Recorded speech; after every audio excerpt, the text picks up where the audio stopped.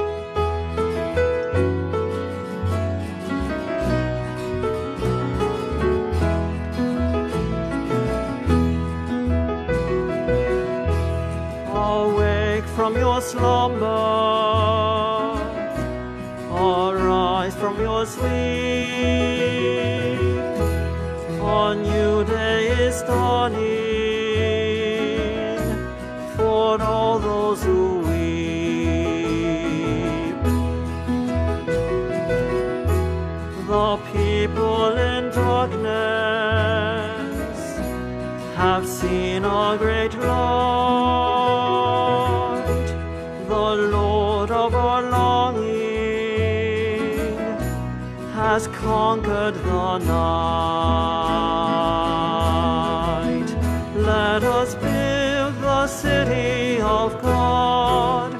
May our tears be turned into dancing. For the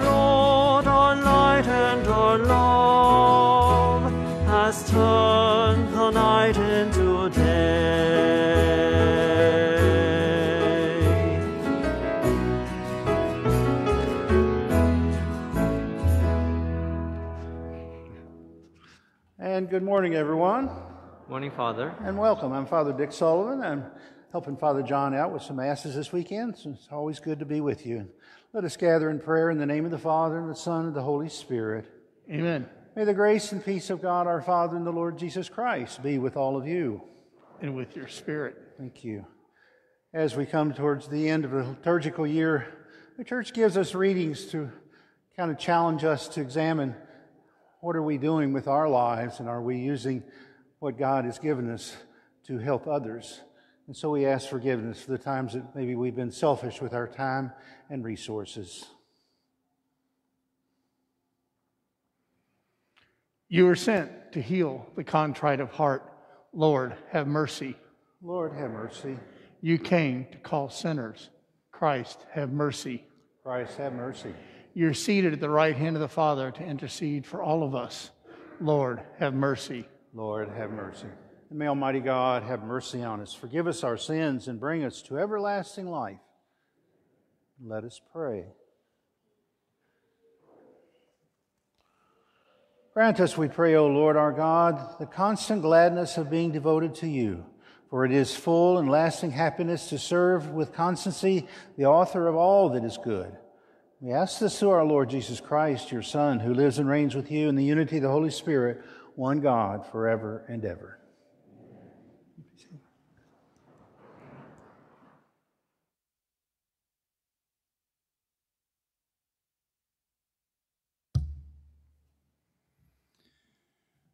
A reading from the book of Proverbs. When one finds a worthy wife, her value is far beyond pearls. Her husband, entrusting his heart to her, has an unfailing prize. She brings him good and not evil all the days of her life. She obtains wool and flax and works with loving hands. She puts her hands to the distaff and her fingers ply the spindle. She reaches out her hands to the poor and extends her arms to the needy. Charm is deceptive and, and beauty fleeting. The woman who fears the Lord is to be praised. Give her reward for her labors, and let her works praise her at the city gates. The word of the Lord.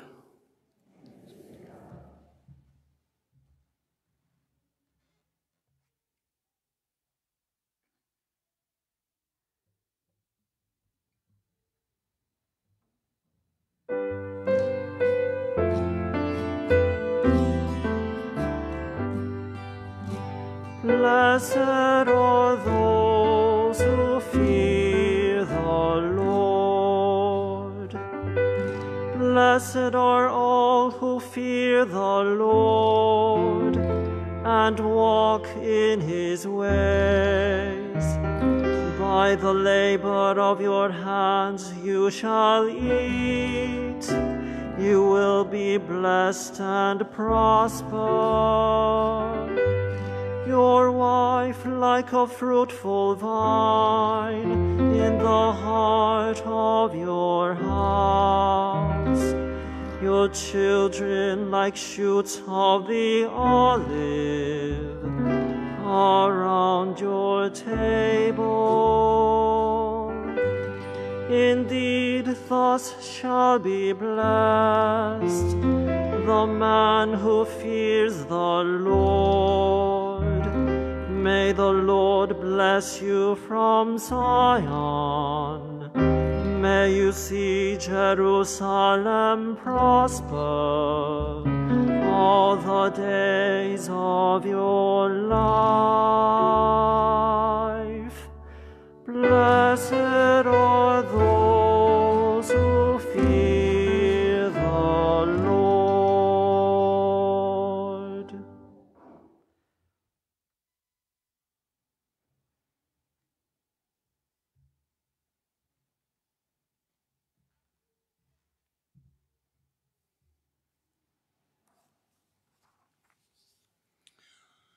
A reading from the first letter of St. Paul to the Thessalonians.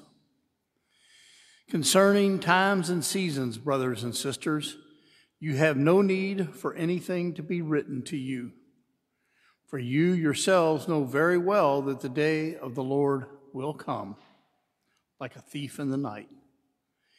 When people are saying peace and security, then sudden disaster comes upon them, like labor pains upon a pregnant woman, and they will not escape.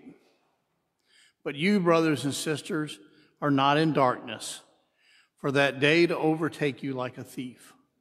For all of you are children of the light and children of the day. We are not of the night or of darkness. Therefore, let us not sleep as the rest do, but let us stay alert and sober.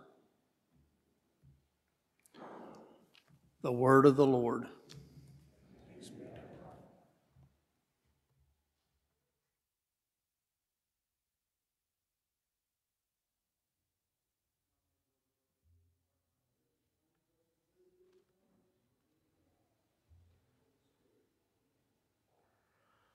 Alleluia.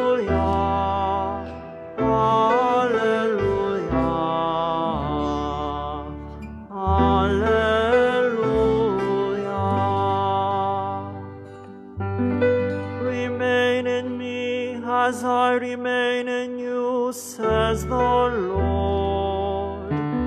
Whoever remains in me bears much fruit. Alleluia.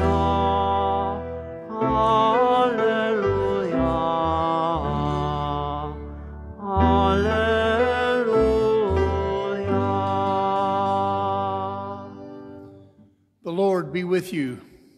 And with your spirit, A reading from a holy gospel according to Matthew. glory to you, O Lord. Jesus told his disciples this parable. A man going on a journey called in his servants and entrusted his possessions to them. To one he gave five talents, to another two, and to a third one one, to each according to his ability. Then he went away. Immediately the one who received five talents went and traded with them and made another five. Likewise, the one who received two made another two. But the man who received one went off and dug a hole in the ground and buried his master's money.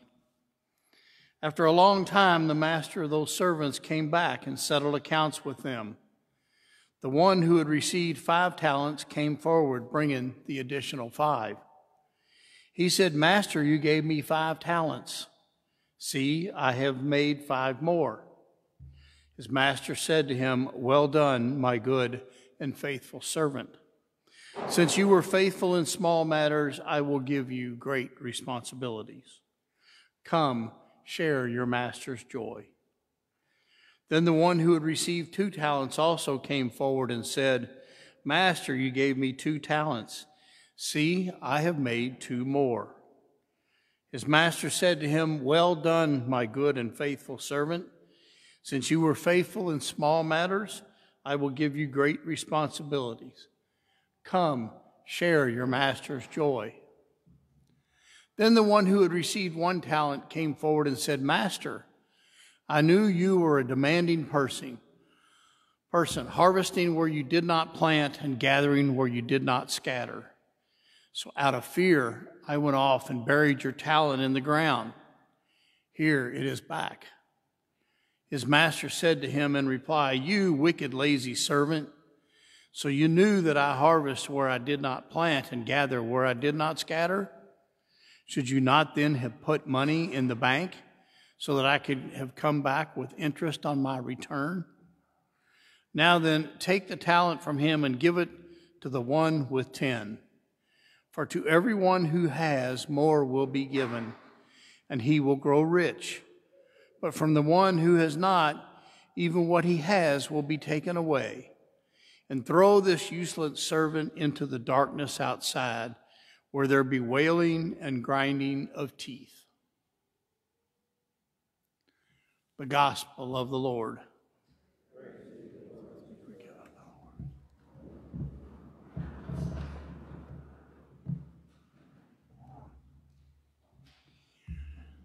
Now, in this gospel, talents represents money of that day. But I want to kind of turn this around, and I think talents are things that people can do.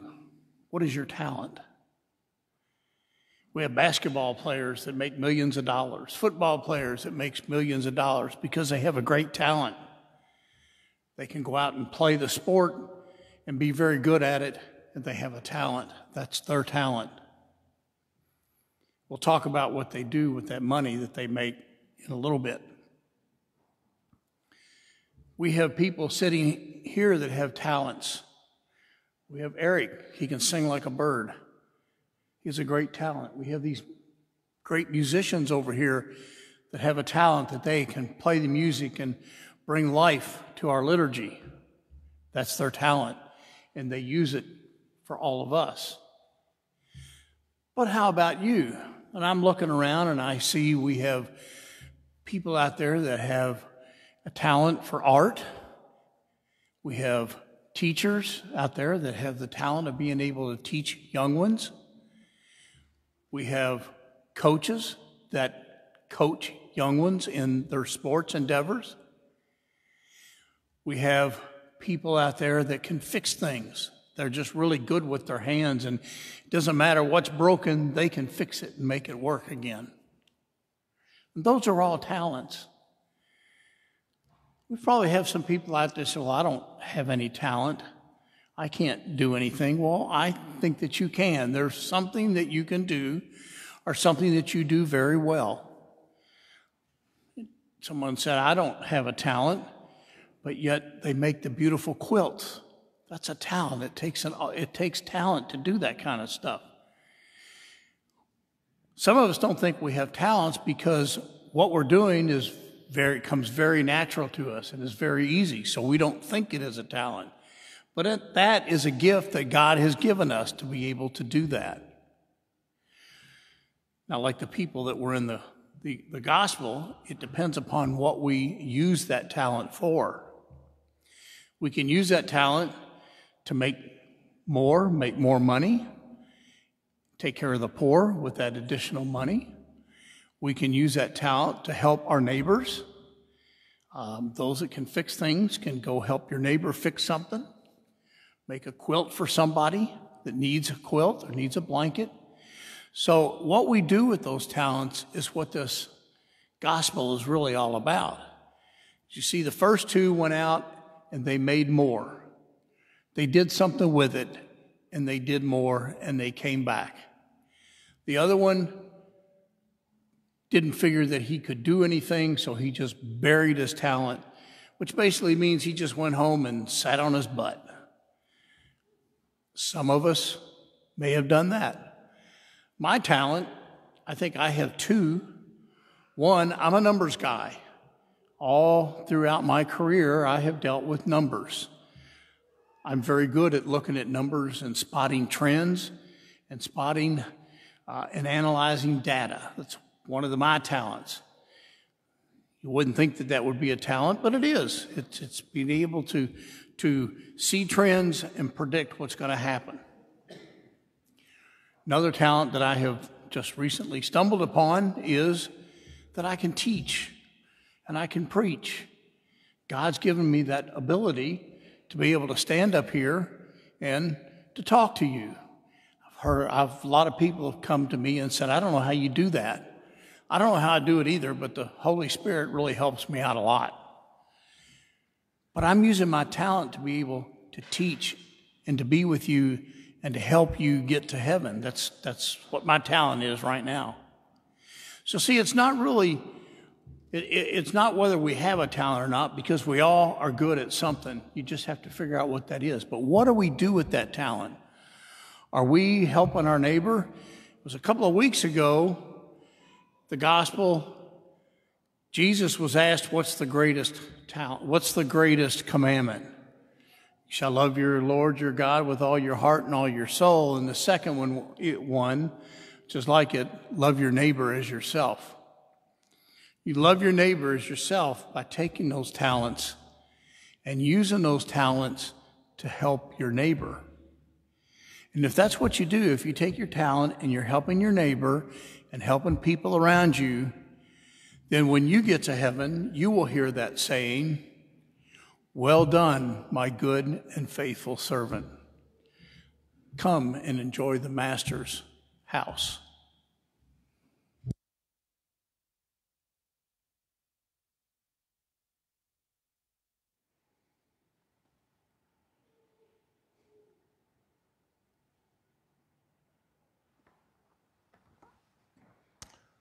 We stand.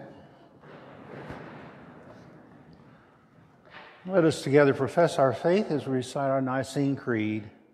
I believe in one God, the Father Almighty, maker of heaven and earth, of all things visible and invisible.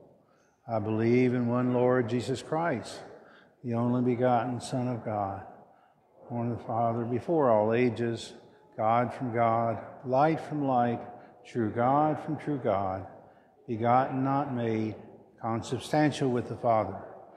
Through him all things were made. For us men for our salvation, he came down from heaven. And by the Holy Spirit was incarnate of the Virgin Mary and became man. For our sake he was crucified under Pontius Pilate. He suffered death and was buried, and rose again on the third day in accordance with the Scriptures. He ascended into heaven and is seated at the right hand of the Father. He will come again in glory to judge the living and the dead, and his kingdom will have no end.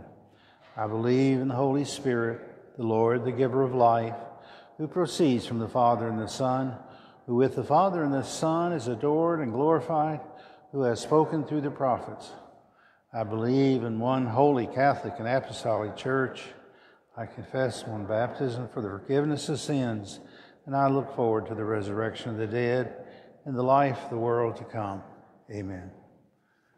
And with confidence in God's love and mercy, we bring before Him our concerns for others this day. For church leaders, may God look graciously upon them as they faithfully steward the riches He has entrusted to them. Let us pray to the Lord. Lord, hear our prayer. For the world, may the Lord guide us with wisdom in our role as stewards of the resources of this earth. Let us pray to the Lord. Lord, hear our prayer. For those who experience the pain and separation of divorce, may the love of God sustain them through every trial. Let us pray to the Lord. Lord, hear our prayer. For this faith community, may the Holy Spirit grant us courage and strength as we live our call to discipleship. Let us pray to the Lord. Lord, hear our prayer. For the intention of this Mass, Susan and Brian Vonahum, and those needs expressed in our parish book of prayers, let us pray to the Lord. Lord, hear our prayer. For those who have died, especially Phyllis Daniel, may the Lord's mercy grant them eternal rest. Let us pray to the Lord. Lord, hear our prayer. Loving God, we ask you to hear these concerns and all that we have in our hearts. Help us to work together to bring about your kingdom more fully here on earth. We ask this through Christ our Lord. Amen.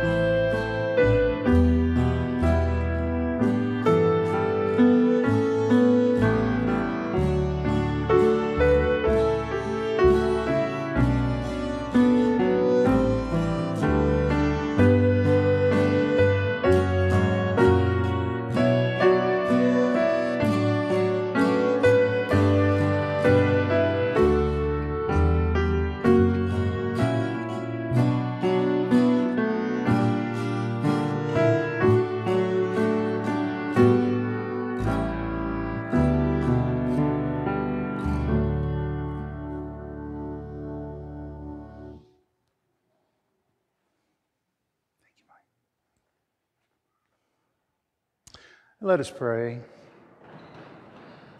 Pray, my brothers and sisters, that your sacrifice and mine will be pleasing to God, the Almighty Father.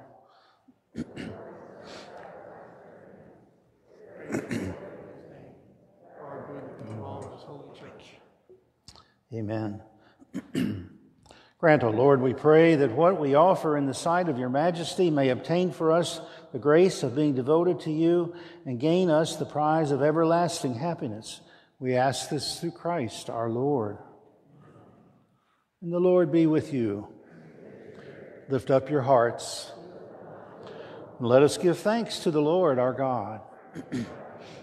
it is truly right and just, our duty and our salvation, always and everywhere, to give you thanks, Lord, Holy Father, Almighty and Eternal God. For when your children were scattered afar by sin through the blood of your Son and the power of the Spirit, you gathered them again to yourself, that a people formed as one by the unity of the Trinity made the body of Christ and the temple of the Holy Spirit might, to the praise of your manifest wisdom, be manifest as the church. And so, in the company of all the choirs of angels, we praise you, and with joy we proclaim Holy, holy, holy Lord, God of hosts. Heaven and earth are full of your glory. Hosanna in the highest. Blessed is he who comes in the name of the Lord. Hosanna in the highest.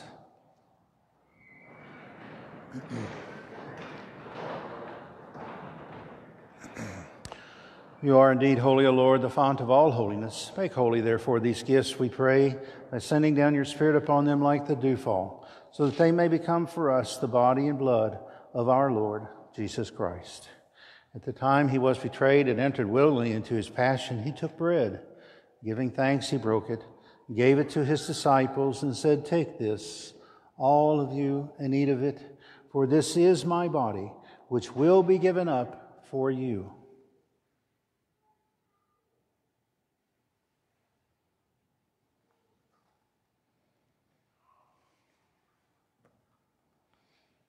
In a similar way, when supper was ended, he took the chalice. Once more giving thanks, he gave it to his disciples, saying, Take this, all of you, and drink from it. For this is the chalice of my blood, the blood of the new and eternal covenant which will be poured out for you and for many for the forgiveness of sins. Do this in memory of me.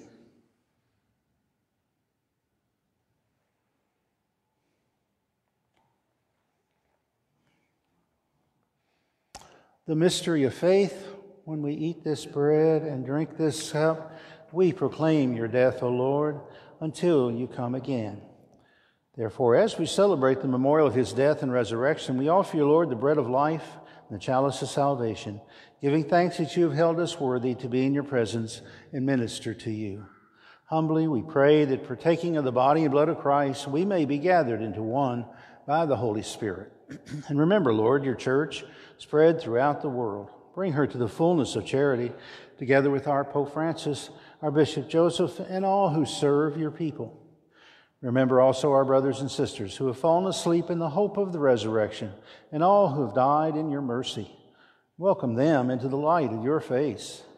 And have mercy too on us, we pray that with the Blessed Virgin Mary, the Mother of God, with Blessed Joseph, her spouse, with the apostles and saints who have pleased you throughout the ages, we may merit to be co heirs to eternal life, and may praise and glorify you through your Son, Jesus Christ. For it is through him and with him and in him, O God, Almighty Father, in the unity of the Holy Spirit, all glory and honor is yours forever and ever. Amen.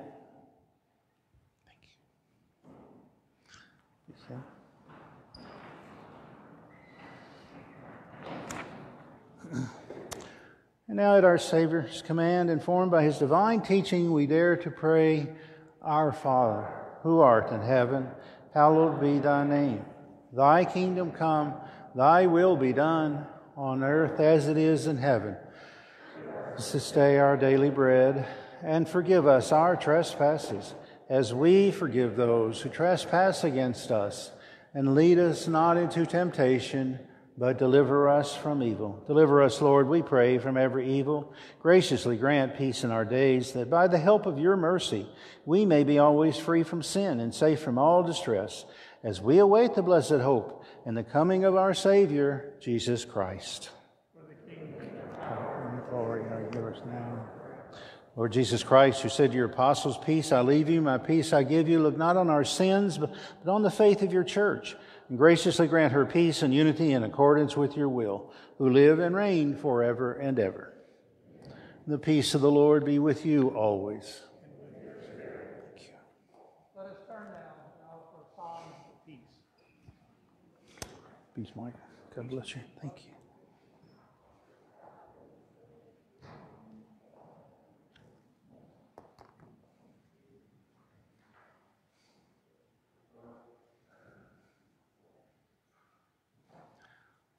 Lamb of God, you take away the sins of the world, have mercy on us.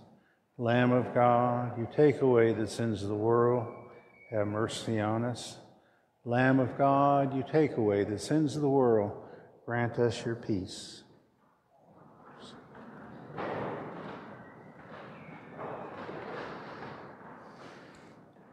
Behold the Lamb of God, behold he who came to take away the sins of the world. Blessed are those who share in the supper of the Lamb. Lord, I am not worthy that you should enter under my roof, but only say the word, and my soul shall be healed. May the body and blood of Christ bring us all a share of eternal life. Amen.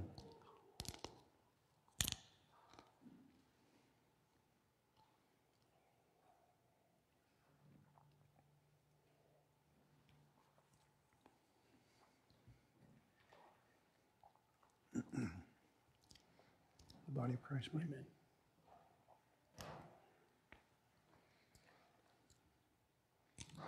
The blood of Christ.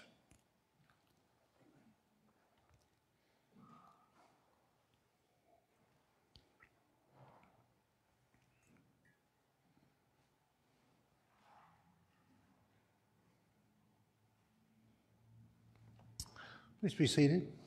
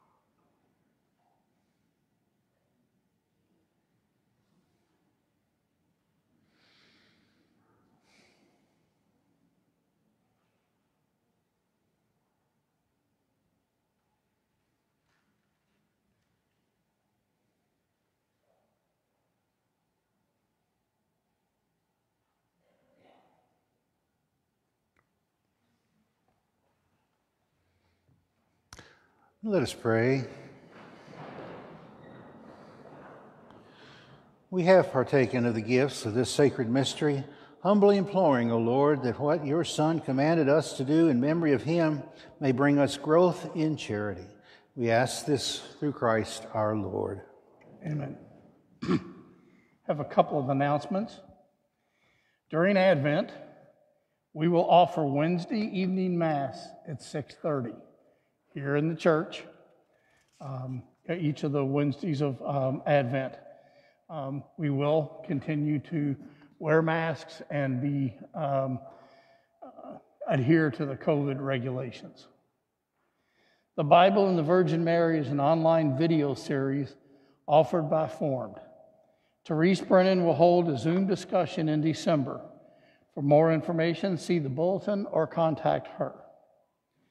Here's where we are with our CSA drive. We have raised $40,800 through the support of 178 households. Our goal is 88,600 with 403 households. If you have not done so, please consider a donation. I know we're all hurting, things are tough, but think about those that are less fortunate than us. It's even tougher for them and the CSA does give them a hand. On Wednesday, November the 11th, was Veterans Day. The day before was the birthday of the U.S. Marine Corps. We offer up a blessing and a prayer this week to our armed forces veterans. Do we have any veterans here? Raise your hand.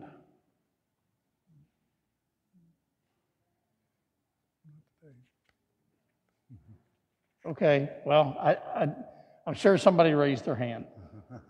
We thank you for your service to our country. and today at the back of church, there are tables back there for the veterans um, where you can uh, pick up things that are, are there for you. Um, we have a token of appreciation and a candle and or a calendar. And at this time, oh, I got one more announcement, and then after the announcement, uh, Father will do a special blessing for all of our veterans. Our door is going to get fixed. I am told, if I read the email right, starting Monday early. So we won't have uh, our communion service that we'll have on Monday. Uh, they're supposed to be here to fix our front door. Yay! So we look forward to being able to use that um, next Sunday, I hope. Father, blessing. Very good. Let us pray. Loving God, we ask for blessings on those who have served their country in the armed services. We ask for healing for the veterans who have been wounded in body and soul in conflicts around the globe. We pray especially for the young men and women in the thousands who are coming home with injured bodies and traumatized spirits. Bring solace to them, O Lord. May we pray for them when they cannot pray. We ask for echoing St. John Paul II an end to wars and the drawing of a new era of peace as a way to honor all the veterans of past wars. Have mercy on all veterans, bring peace to their hearts and peace to the regions they fought in. Bless all the soldiers who served in non combative posts. May their calling to service continue in their lives in many positive ways. Give us all the creative vision to see a world which, grown weary from fighting, moves to affirming the life of every human being and so move beyond war. Hear our prayer, O Prince of Peace. Hear our prayer. We ask this through Christ our Lord. Amen. Amen. And the Lord be with you. And with your spirit. And may God's blessing go with us now in the name of the Father, and of the Son, and of the Holy Spirit. Amen. Go in peace to love and serve the Lord. Thanks, Thanks be to God. you